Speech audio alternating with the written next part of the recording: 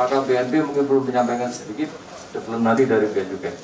Tim Polda Lampung bekerjasama dengan Polda Aceh dan Dijen Bea Cukai menggagalkan upaya penyelundupan narkoba jenis sabu jaringan internasional antar Indonesia dan Thailand. Dari pengungkapan ini, petugas mengamankan barang bukti seberat 53,6 kg narkoba jenis sabu dari beberapa orang tersangka. Wakapolda Lampung Brigjen Subianto mengatakan pengungkapan kasus peredaran narkoba ini berawal dari penangkapan dua orang tersangka asal Lampung berinisial SH dan FS pada bulan Januari lalu dengan barang bukti 7,23 kg sabu. Dari penangkapan itulah Satuan Polda Lampung kembali mengungkap lokasi penyimpanan lainnya di kawasan Jagabaya, Bandar Lampung, dan Lampung Tengah.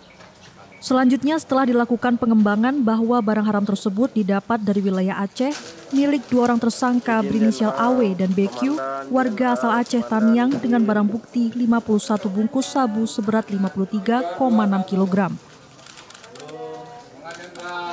Bahwasanya ini kejahatan uh, antar negara, ya kejahatan sa, kejahatan narkotika ini antar negara.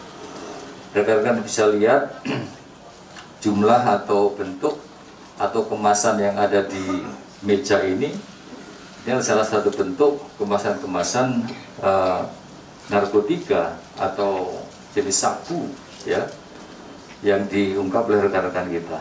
Pendistribusiannya atau peredarannya itu belum kita dalami. Apakah akan diedarkan di Lampung atau di mana ya?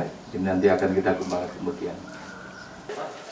Atas perbuatan kedua tersangka AW dan BQ akan dipersangkakan dan dijerat pasal 114 ayat 2 subsider pasal 112 ayat 2 junto pasal 132 ayat 1 tentang narkotika dengan ancaman hukuman mati, penjara seumur hidup atau pidana penjara paling lama 20 tahun. Sementara saat ini petugas kepolisian juga masih melakukan pengembangan dan mengejar tersangka lainnya berinisial AD, seorang warga negara Indonesia yang tinggal di Thailand. Roma Priyaidam, Kompas TV, Lampung.